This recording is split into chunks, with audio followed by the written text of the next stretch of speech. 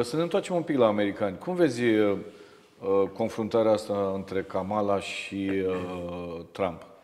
Mult mai echilibrată decât uh, ne așteptăm.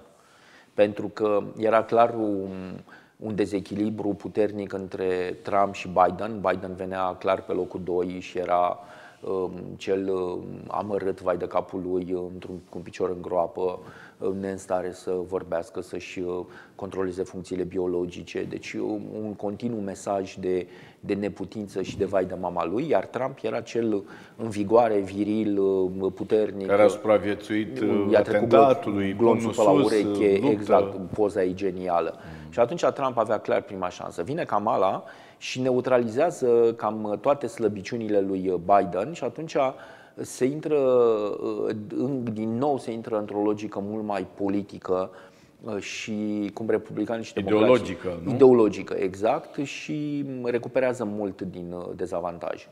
Și în momentul de față distanța e mică, 2-3 puncte procentuale. Mă rog, sondajele unde Kamala stă foarte bine sunt și consecința faptului că ea tocmai s-a lansat și atunci a stârnit o emulație de moment. Nu știm dacă emulația asta va reuși să se mențină până în noiembrie. Mai e mult până departe. Da, noiembrie sau în decembrie, parcă se vorbea că ar fi în decembrie. Kamala Harris, profesorilor homosexuali, le este frică să arate copiilor în clasă fotografii cu ei înșiși și cu partenerii lor. A participat la o... Asta zice Kamala. Asta zice Kamala.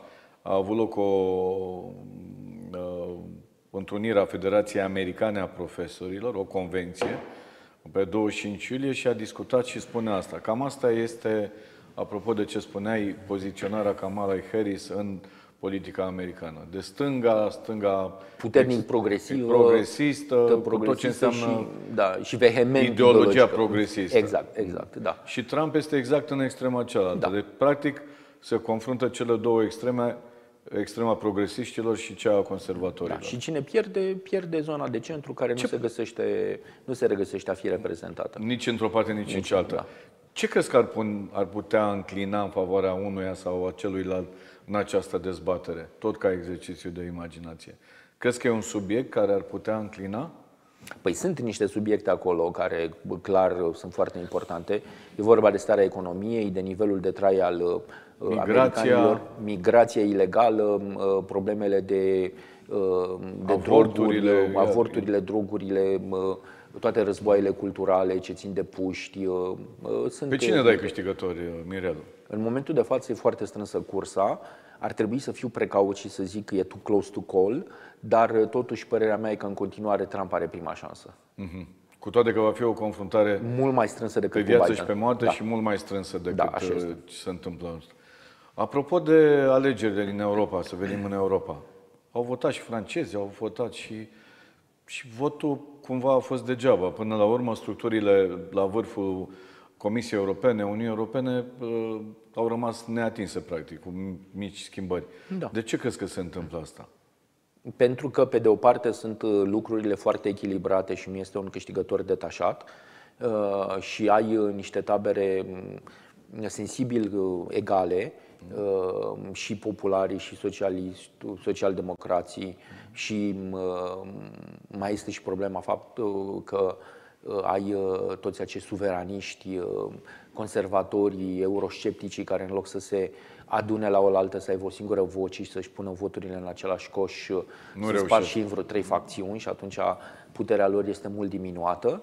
Mm. Și uh, mai ai și această împărțire între sistem și antisistem, și toate partidele uh, teoretic uh, pe poziții diferite ideologic, popularii și socialdemocrații, au lăsat la poartă divergențele și au zis trebuie să ne unim, chiar dacă nu ne convine, și să facem această mare coaliție împotriva partidelor. Cursul încă 5 ani, spuneam că e ca o flegmă pe este, este în, în România un sociolog remarcabil, unul dintre cei mai mulți sociologi. Uh, sunt mulți sociologi remarcabili, dar, dar cel, mai remar- cel, mai, cel mai foarte remarcabil care? este care are el o vorbă mm. uh, rea de tot. Uh, ah. europenii merită tot ce Ca mai și românii de altfel. Ca și românii, ca și bucureștenii. Păi, uh, și bulgarii merită. Da, europenii merită tot ce mm. e mai bun. Să îi doară până urlă de durere pe stradă. Crezi că se va întâmpla asta? Uh, pentru unii deja se întâmplă chestia asta și se va întâmpla pentru din ce în ce mai mulți. Uh, bun, din punct de vedere sociologic, Ce s-a schimbat în Europa după pandemie? Ce s-a schimbat după războiul din Ucraina? Uite, sunt doi ani și jumătate război acolo, sub o formă sau alta. După tot ceea ce s-a întâmplat în Statele Unite, sociologic se întâmplă ceva cu europeanul pe numele său? Da, se numește dezamăgire. Uh, au trecut uh, toate emoțiile acelea foarte puternice de spaimă uh, ce au fost generate de multe ori artificial în perioada crizelor. Am avut criza COVID, unde a fost marea sperietură, o să murim cu toții, ciuma, stați în casă dacă vă pasă. Și am stat, am stat... Da, chestii apocaliptice, practic, exact, am trăit exact. atunci. Pe urmă a venit marele discurs de frică la adresa războiului, fiind rușii ne omoară, ne mănâncă. Păi, și acum funcționează. Adică... Nu mai funcționează atât de mult.